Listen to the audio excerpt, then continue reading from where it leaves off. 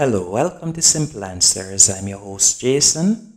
In this video, I'll be showing you how to enable Twitter notifications on iPhone on iOS 15 or up. First, you're going to need to go into settings. Once in settings, you're going to tap on notifications. From there, you're going to scroll down all the way down till you see Twitter. And you can see it right here.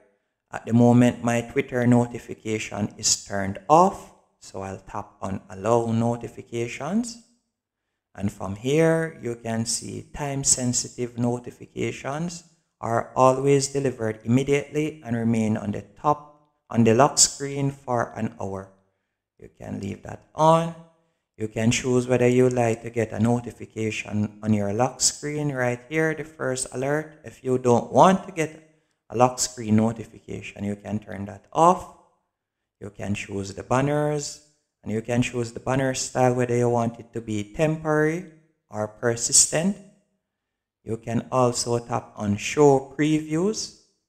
You can leave it at default or you can choose to never get a show preview.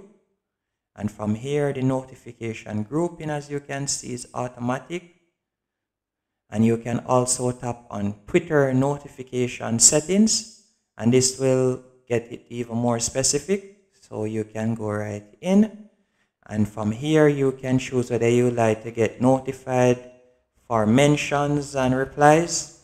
If you don't you can want that you can turn that off. You can also get a notification when somebody retweets you or likes one of your posts or tags you in a photo Whichever one that you don't want to leave on, you can simply tap on it and turn it to gray. There are numerous options you can choose from.